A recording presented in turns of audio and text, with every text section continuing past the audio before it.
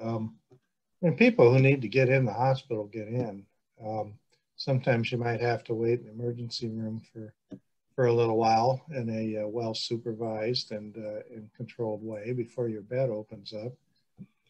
Sometimes that happens during uh, during January and February during flu season too. So um, it's kind of it's kind of interesting. It's not all COVID uh, in our hospitals too. For the acuity is high um, with other um, diseases and other things as well. So um, it's just a lot of sick people right now with a lot of different things. But yeah, we find places to we find hospital beds for them, and uh, we find uh, find ways to make sure they're staffed with uh, with well uh, with experienced and uh, and uh, and skilled nurses, and there are doctors there to take a look at them and, and watch over them. Um, but you know, we would rather not have to have special teams and such that are looking at orchestrating care between different areas. And so that's one of the reasons why we have this appeal um, right now, so that if somebody makes a phone call to get somebody on a bed, they don't have to wait and they can come right away. Yeah, similarly for Novant Health, I would say any any patient who comes to our hospital that needs a bed, we've been able to find a bed. Sometimes that may not be in the hospital that they presented at. Uh, we've had to transfer patients between all of our hospitals to absorb the volume. I, I, do think that there probably is a perception in the surrounding counties that we haven't been able to absorb as many transfers as we would have in the past. And so we have had to orchestrate that well with Cone and Atrium, Wake Forest Baptist Health, and others to make sure that we're helping all the communities that surround Forsyth and Guilford County.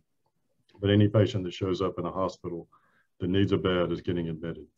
Just because you're younger doesn't mean that uh, if you're exposed, you're not going to get infected. Uh, the Delta variant's, uh, um, oh, roughly six times more infectious than the variants that we had at the beginning of the pandemic. So you don't need as much of an exposure. Um, and then if you are exposed and you're unvaccinated, you have about 2.2 times the risk of getting hospitalized with Delta than if it was one of the other variants. And that includes if you're younger. Being young doesn't uh, give you an armor all around you to protect you from that. And, um, and I, w- I would say that uh, the best way, even if you've had COVID, um, to keep yourself safe is to get vaccinated. And the reason why is if you've had COVID and you get vaccinated, your antibody levels go up about 10 mm-hmm. times and the, the, the, that potpourri of that porridge of different kind of antibodies is actually a lot higher and a lot broader if you get vaccinated after having COVID. And so it's a great boost and it's a great way to protect yourself against variants, including the, the Delta variant.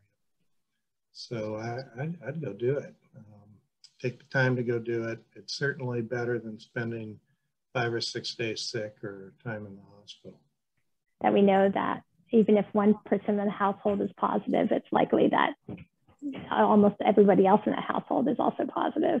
You know, so again, we can't emphasize enough that just because you're young doesn't mean you know that you're invincible. You know we're still seeing quite a few people uh, come to the emergency room feeling quite ill and don't have really that many um, comorbidities and other than you know that they're just young. And so we still need everybody to take it seriously and get the vaccine